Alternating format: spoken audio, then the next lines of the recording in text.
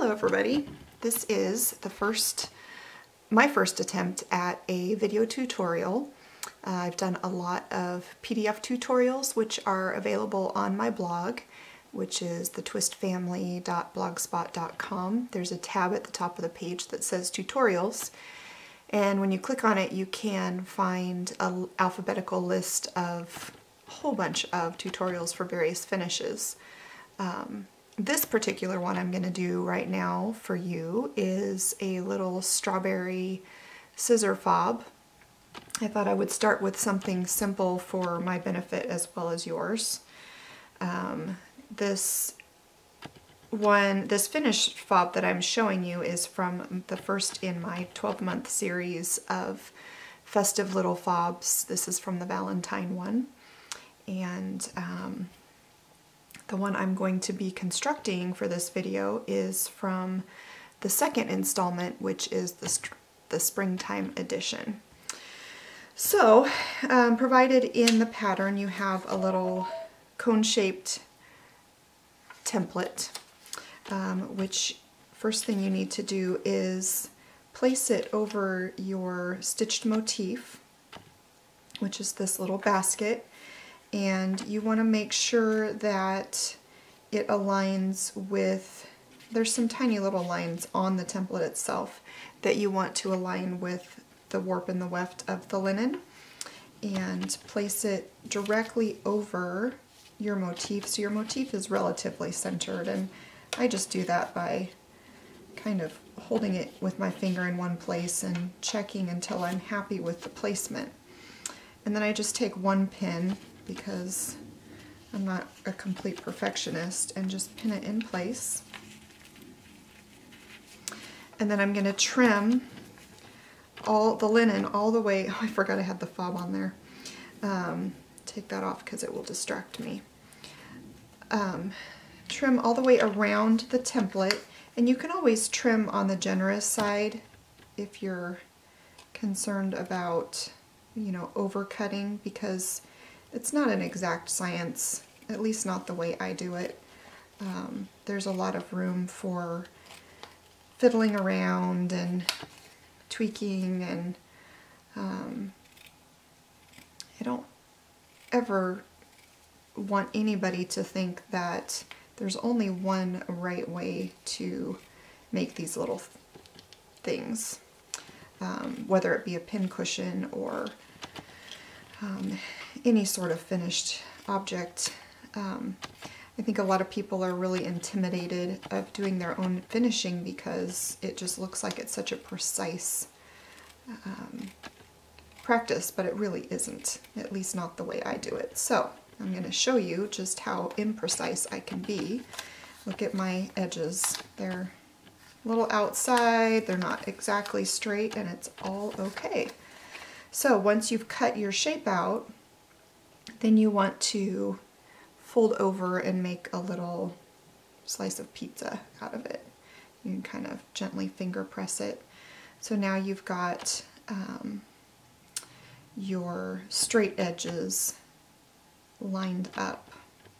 And I probably should have threaded my needle already so that you didn't have to watch me do that because I'm sure you all know how to thread a needle. Um, I'm not using a thread that's actually in this particular motif because I sent my whole stock of threads off to my model stitchers. So I just found one that coordinates with the colors I used, and in this case it's Parchment from the Gentle Art. Um, I am going to do this with a doubled over thread. I often do it with just a single, but for strength I'm going to do a double. So we'll just thread the needle and then along this straight open edge, starting at the bottom, here's why I did a doubled over, because now I don't have to tie a knot. I'm just going to slip that right through the loop and then do a relatively close together running stitch all the way along this edge. Um, if you want, you can cut trim across this little bottom tip here, but there's not enough. Sometimes if there's too much there, it can get in the way of your point at the end of your strawberry, but because there's not a whole lot there, I'm not going to bother. That's just a matter of preference. So we're going to continue on all along this edge.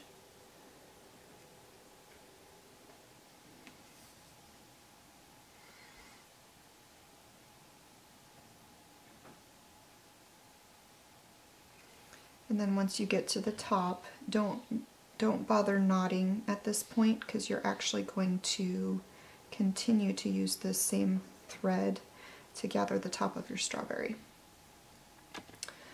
So there you have it, just a really simple running stitch front and back. Now you're going to turn this right side out, simple little flip. Um, if you get down here to the tip and you want more of it to pop out, you could take something like your scissors, um, a chopstick, something to just gently, not with a lot of force because you don't want to blow out that tip, just push the point through. And now you see what is going to show on the front of this little strawberry fob.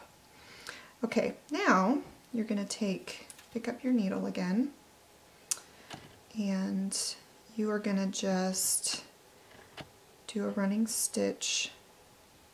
Doesn't have to be close together this time, all around the top of the opening.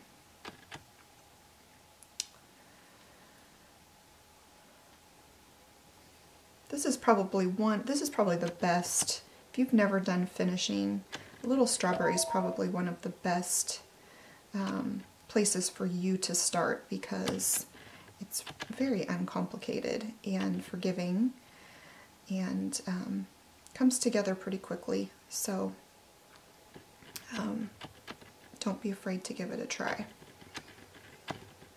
And if you've already done a million of these, I'm probably not teaching you anything new um, because they're all pretty much constructed very similarly. Okay, now at this point you can fill it with whatever filling you choose. Polyfill, um, you could use something heavier like a crushed walnut shell. In this case, I'm going to use some fabric scraps. These are scraps left from a market bag I made for my aunt down in Arizona. She likes the Southwest prints. So I've got little bits of fabric that are light enough that they're not going to show through this light colored linen.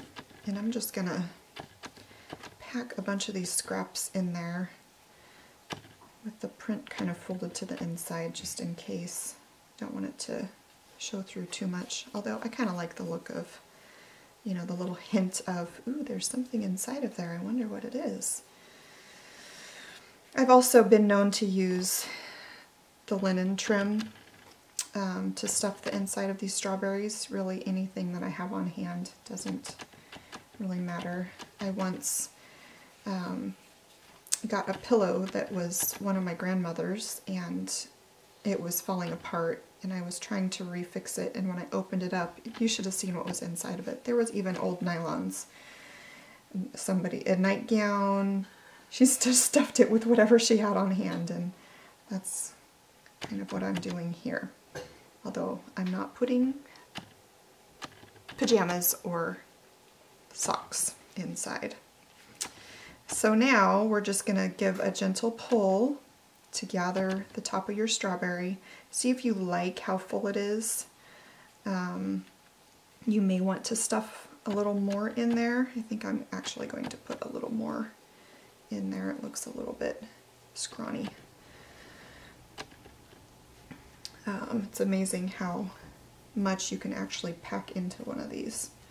I'm just going to put a little bit more in there, pull it tight again, and I think I'll be happier with how full the top is. Yeah, that's much better.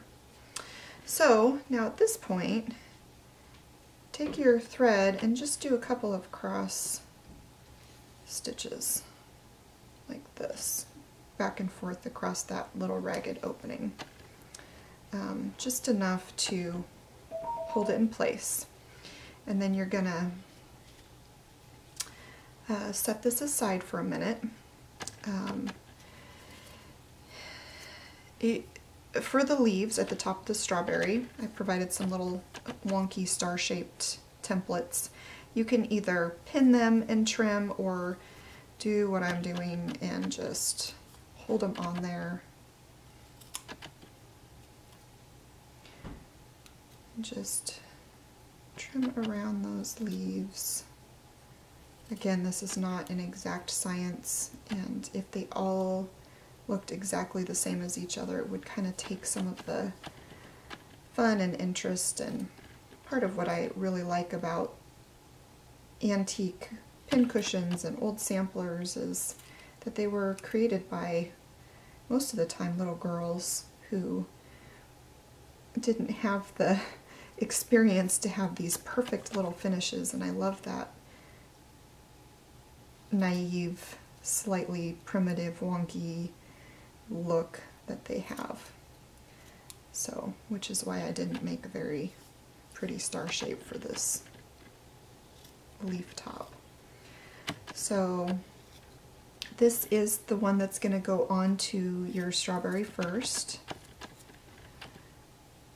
Oh, I totally forgot a step.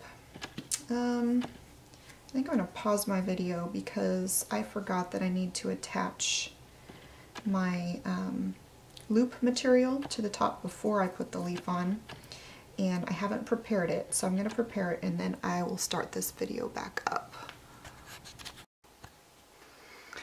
Okay, so the magic of technology. Um, I just turn the camera off for like 20 minutes and you don't even know the difference. But what I did during that time is I braided um, some Gentle Art wool thread actually. I thought the wool might be a nice look with this particular one because of the little woolen tops. Um, but you could use anything. You could use cotton sock weight yarn, you could use string, you could use DMC or other threads. Um, I used, for each section of the braid, I used, I think it's three or four single strands of um, the Gentle Art wool. And I would recommend if you were using a standard six strand floss to use the whole six strand just to give it enough substance that it can hold up to, um, you know, going on and off your scissors or whatever you're going to use it for. Um, anyway, that's what I did. And then I cut it to length. I made it way too long, so I'm going to use some later for another project. Um, I kind of sort of measured what the other length was and I thought I wanted to go a little bit longer this time so I just that's how exact the science is. I have no idea how long it actually measures but I like how it looks and so I'm gonna go with it. So you still have your, hopefully have your needle and thread attached to the top. There's no need to tie a bunch of knots because this is all interconnected.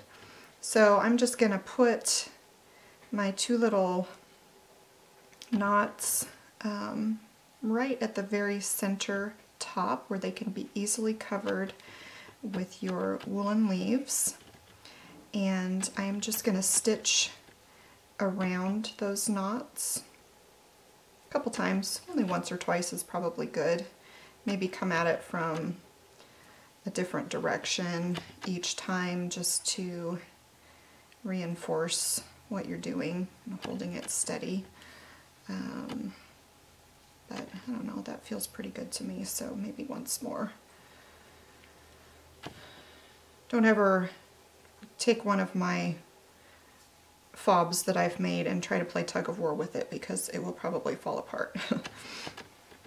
um, you could, you know, you could put some little fabric glue in there if you wanted, uh, because you are going to actually now cut a little hole in the middle of your, the larger of your woolen leaves.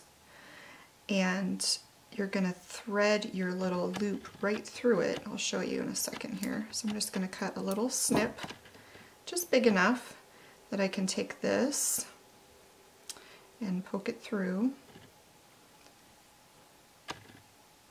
and pull that all the way down. And now this one you're going to actually stitch in place all the way around the edges. So what I would do is kind of play with it. How, which way do you want it to turn? I think I'm going to have it like this so that the leaves frame the little basket. And continuing on with the same thread, I'm just going to start stitching down around all of the edges of my leaves. And it's just a simple little in and out Run your thread behind through your strawberry and just, you're basically just tacking the edges down and I like how it looks when the stitches show like this. Um, just adds a little bit more of a primitive look to it, which I am a fan of. And this might get a little bit boring, so what's something I can tell you about myself? Oh, well this is funny. I don't paint my fingernails very often, but obviously I just painted them yesterday and that's actually what prompted me making this video because I was like, oh, my fingernails are so cute.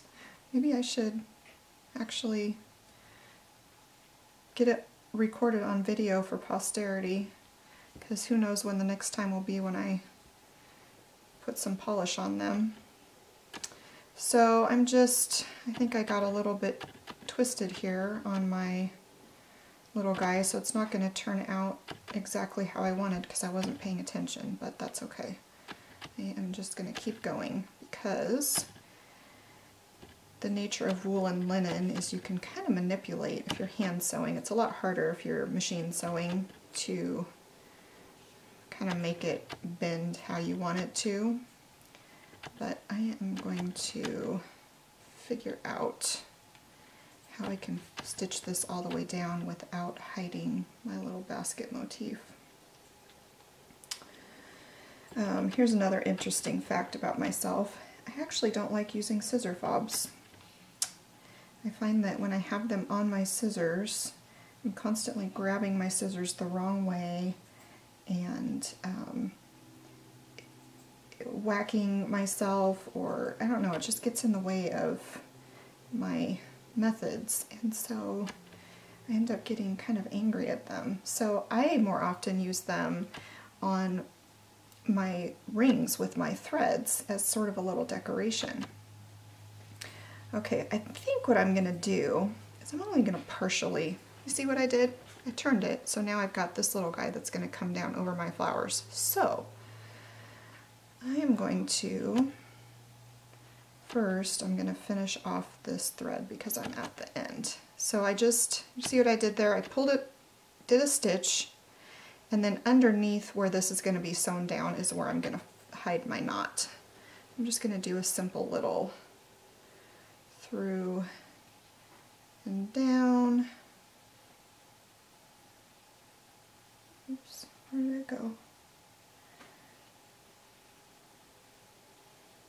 Okay, snip that off. And now you get to watch me thread another needle. I've heard it said you're not supposed to hold your needle in your mouth, but I do it all the time. And so far I have never impaled my tongue. If you've done so, I'm sorry. I don't mean to brag. I'm sure it'll happen eventually.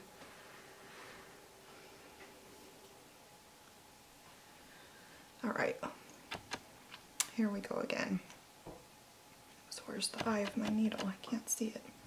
By the way, I am using, um, I like John James 26 Petites, and I like Petites because they help me to be so much more efficient. I, I sew in hand, and so I can do the needle turning really quickly because it's not so long. Okay, so here's what I'm going to do. I am going to let this little point of leaf sort of float out there and actually not stitch it down and I think that will take care of my problem. and actually might be kind of cute. And if not, once I get back done with stitching around, I might trim that a little bit. We'll see.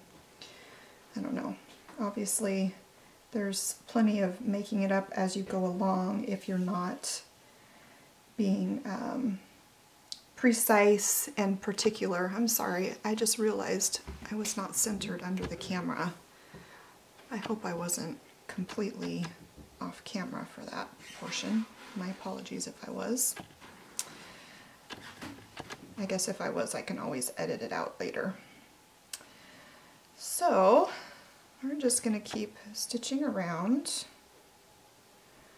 Make sure that your little woolen point is not hiding your little cross stitches that you put in place. And I'm almost all the way around.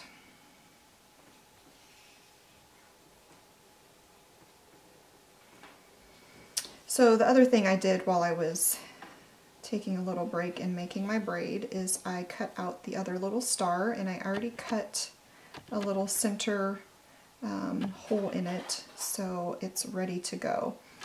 Um, if you are watching this as you're constructing, obviously this can't happen, but if you watch it and then you go about your construction, you can um, make this process go pretty quickly if you have all of your little parts ready ahead of time. Have all of your template shapes cut, have your needle threaded like I did not, have your um, whatever you're going to use here. You can use seam binding like I did on this one, you can use rickrack, there's all different options.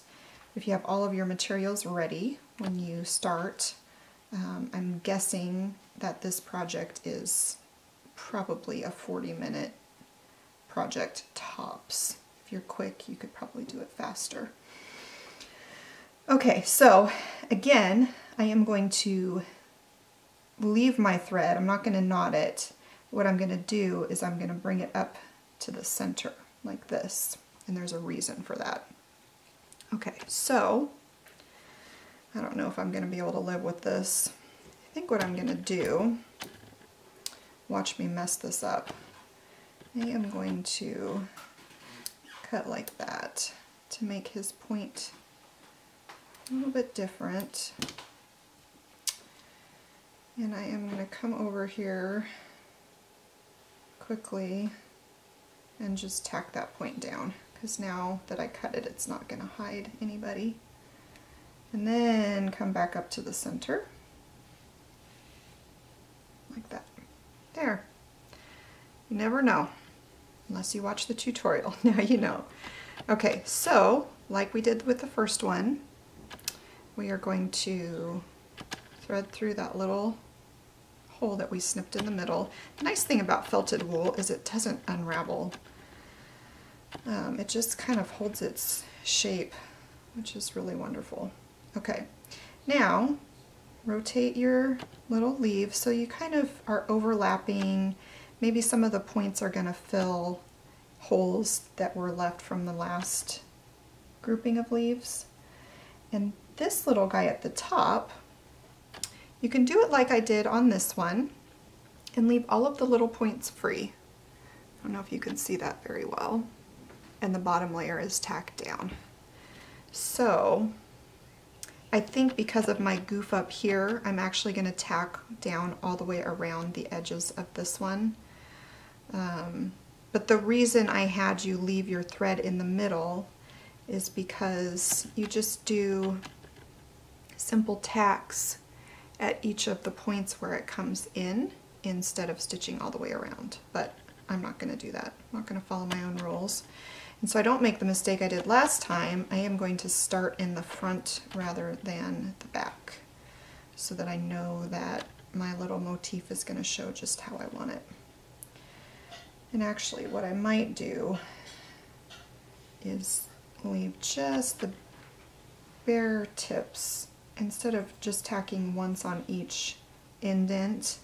I'm going to do a tack, tack, tack, tack. And I think that will remedy the situation that I caused for myself. And here's an example of how flexible the wool is. If I just let this fall where it wants to, it would overlap this one more than I like. But since it's sort of stretchy fabric, I can actually manipulate it and have it come over here. Coming back around to the front again. And this is not becoming my favorite strawberry, people. But I've demonstrated the process. What am I going to do? I'm going to do what I did before. I'm going to trim this guy. That will be a little better. Okay, so now this is your final, you're done with your, your thread after this. You're almost done with your fob. So bring it up to the center and do a little double knot should be sufficient again.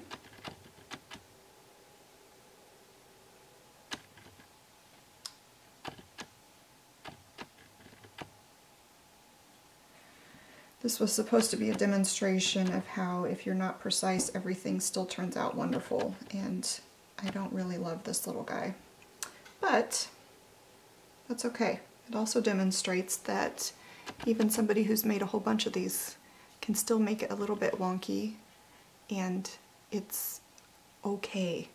So the final step you're going to take is you're going to just do a little a little knot right at the top of the the little woolen leaves to kind of finish off where your um, your thread comes through. And there you have